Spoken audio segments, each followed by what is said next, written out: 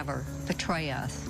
Unlike Lindsay, Jamie doesn't care about party. He cares about people. My vote for Jamie Harrison is a vote for South Carolina. I'm Jamie Harrison, and I approve this message.